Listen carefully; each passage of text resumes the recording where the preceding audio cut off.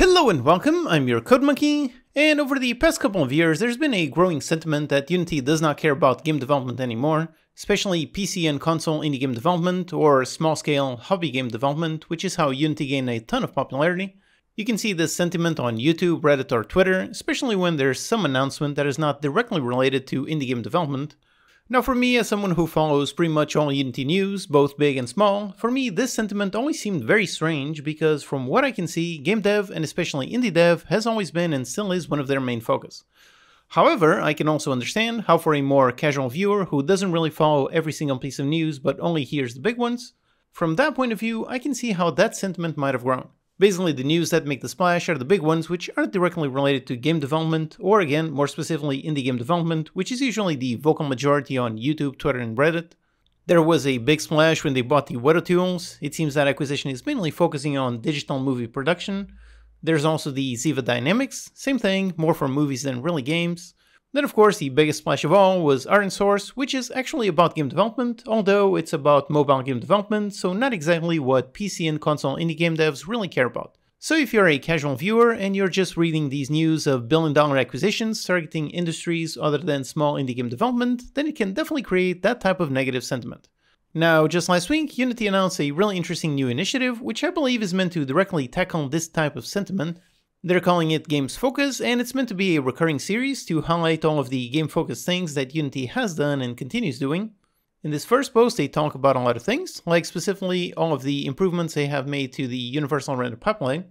You can read the entire changelog for the package to see how they are constantly, constantly improving it. So URP, which is definitely very game focused, that one is constantly getting updates and some pretty massive ones at that, but again, not flashy enough to be big news. Then some improvements on code and general iteration time, which again is focused on anyone that use the Unity editor, which obviously includes small indie game devs. They mentioned several speedups on every single LTS iteration, and in the future they are working on moving the editor to the core CLR. This is a massive under the hood upgrade, but again, not really something sexy that gets the clicks or the headlines. The UI Toolkit is another excellent game focus tool that has slowly been growing in the background. I haven't made a video on it yet, but I have done some research and it is a very good tool. And speaking of the UI Toolkit, they just launched a brand new awesome sample game which you can download for free and inspect to see how it all works. That's the first blog post on this Games Focus series. I definitely look forward to seeing more of it since there are so many game focused things that a lot of people still don't know about. There's also the excellent recently released free ebook on the Universal Render Pipeline. I made a video overview on this ebook. It's a massive ebook, over 120 pages, all filled with excellent information to help your games look their best. Also, this is not their only ebook. Unity has made a ton of these, all of them with tons of super useful information on all kinds of topics. And again, most of them are definitely focused on indie game development. They also participated on the recent Gamescom and used their booth to promote and talk about all kinds of awesome indie games being built with Unity. So if you make a great game with Unity, there's a chance they will help you promote it, which is one of the toughest parts of indie game development nowadays. Another really awesome initiative that they did a while ago is the Dev Blitz, this is where an entire Unity team went onto the forums and Reddit and answered a ton of questions. I asked them myself and got some really great answers, so this is another initiative that they say is the first of many with many other teams doing other dev blitz in the future. So really great idea, again, very much focused on game dev. In terms of packages and development, Dots, which is an extremely exciting tech that will definitely enable all kinds of new games to be built, this one is still in active development. I just made a video a while ago on the current state. They had a pretty massive update a few months ago and everything's on track for it to be production ready by next year. Another great package in development is the netcode for game objects. This is their official multiplayer solution, again completely focused on indie game devs. This one has been constantly getting updates and has been in 1.0 preview for several months, so the final release should be just around the corner.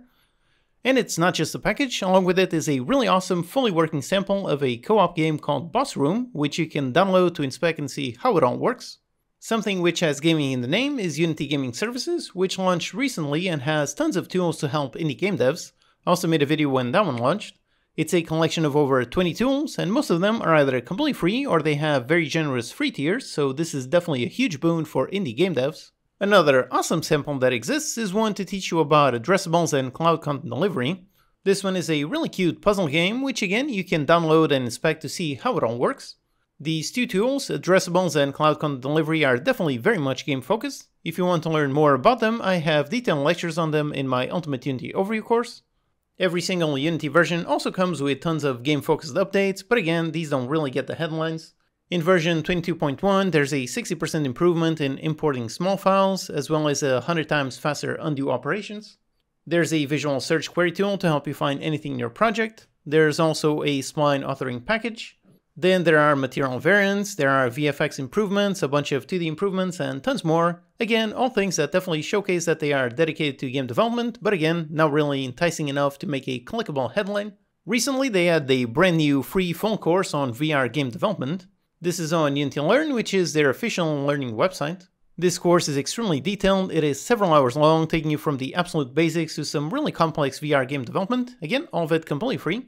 In terms of interacting directly with the indie game dev community, they have their Twitch channel where they live stream and play games made by the community. They also do interviews and serious deep dives with game developers so you can learn how real Unity games are made and how they all work. Like recently, they did a great one on Rollerdrome. They also had one that was all about teaching you how to use the VFX graph. Another great dev breakdown was on the wildly successful V-Rising. So definitely lots of heavy game-focused content on their Twitch, which you can use to learn to make your own games better. Then on their Twitter, every two weeks there is a dev takeover, where one developer takes over their official account to post some super useful info and all of the devs invited are very much related to game dev. These are always filled with excellent actionable info you can learn in a super quick way, so definitely make sure to check out their Twitter every single Tuesday for these Unity tips.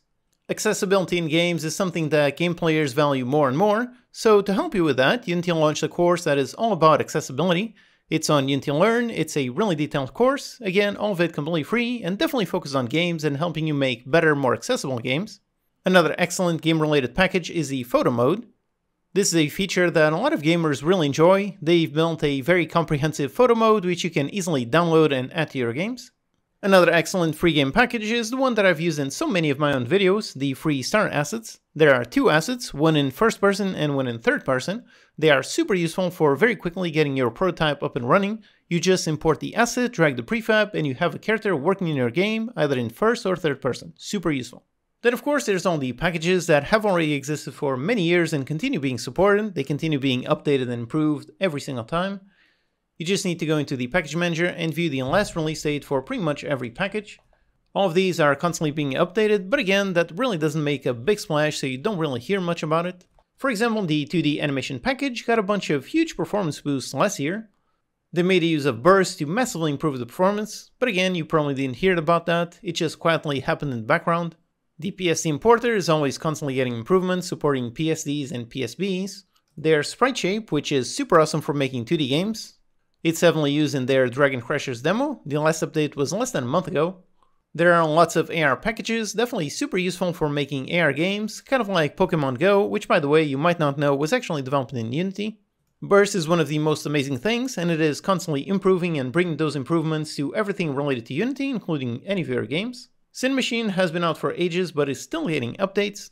The input system is excellent, definitely an extremely important game-focused feature. I made a tutorial on it, it's really excellent.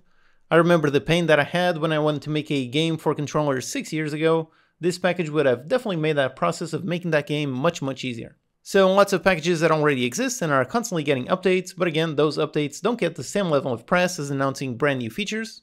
And of course, there's the Asset Store, which as I'm sure you know, has lots of awesome assets from third-party developers, tons of assets tools, definitely focused on game development, and Unity is always organizing sales, so you can pick up some of these awesome assets for a pretty cheap price.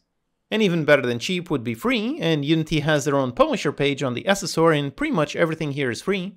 You have the UI Toolkit sample, a dots character controller, 2D game kit, a creator kit to make an RPG, the really nice tanks tutorial. You've got visual scripting, you've got some really nice terrain scenes, the starter assets that I mentioned, and so on. They also have their own internal team, which flies all over the world doing consulting work, so giving guidance and helping developers make Unity games. Then what that team learns from those developers making games is then used to make the engine better for everyone. Two years ago, they bought the Bolt asset, they made it free for everyone and integrated it with the engine as the official visual scripting tool. I used it in my own visual scripting course to make three unique games, all without a single line of code, so that's definitely game focused and an extremely powerful tool. Just recently, they acquired a really awesome Dots character controller. They made it free already, so when Unity Dots reaches 1.0, this is going to be super awesome and really helpful to tons of people. Then they also have the awesome free Dragon Crashers demo sample. This one is an excellent resource for anyone making 2D games. There's also all of the microgames, so these are great for beginners to quickly get started with game development in Unity. There's the Create with Code course, really massive, full of tons of info for game devs, and again, completely free.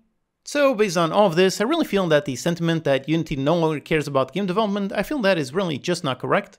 Unity is definitely committed to game development, it's just the big headlines that might make it not seem that way, just because of these initiatives, all of these samples and tools, they don't really get as many clicks as reporting on a billion dollar merger. Like I said, for me as someone who follows all the news both big and small, for me I never had a reason to doubt their commitment to game development. When I see big news related to other things like movies, digital twins, AEC and so on, when I see that I really just see them expanding the engine to other areas but without cutting back on their gaming focus. That to me is very much a positive. The more use cases and the more areas where Unity is used, then the more valuable it is to be a Unity developer, so that's excellent news for me or for you or really any Unity developer. So hopefully with this video you found some game dev related things that Unity has done that might be super useful for you right now that you might not have known about. Alright, hope that's useful, check out these videos to learn some more. Thanks to these awesome Patreon supporters for making these videos possible. Thank you for watching and I'll see you next time.